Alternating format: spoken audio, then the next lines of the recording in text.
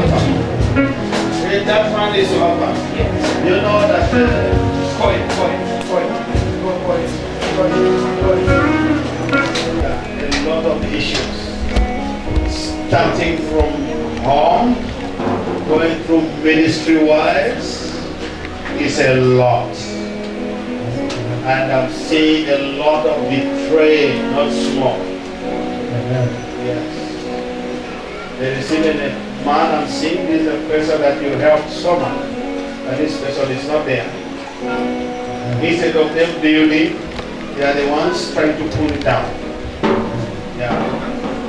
And then there's just a struggle when you say, can we do this for us to have finances? You see, just block like that. It's just a lot of struggle. When you say, maybe we'll try this. It's not just working. Maybe we try this. Maybe let's try this business. Nothing is working. So a lot money, you pumping this, nothing is working. Praying, and not small prayer. You pray, but still, at the end of the day, you just feel sick, tired. Yeah. You know, God is faithful, man of God. Yeah, God is faithful. You are a true man of God. There's no question. But because of what is happening, sometimes there's a question.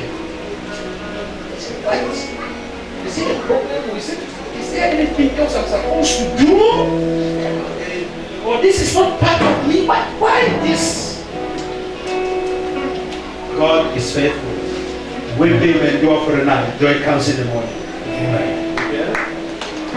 Mama, stand firm. You have already stood firm. You have gone through a lot and not small, a lot. I can't mention here. Mountains are mountains. Continue standing firm. You know, don't have that thing. Continue standing. He's, he's a powerful man. He's a man of God. Just continue supporting and lifting him. God is faithful.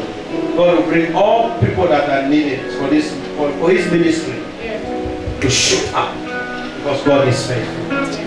Yes. By now, as I'm talking, his ministry will have already gone across even this nation.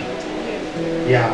But because there's been too much obstacles, too much battles, too much persecutions, too much betrayals.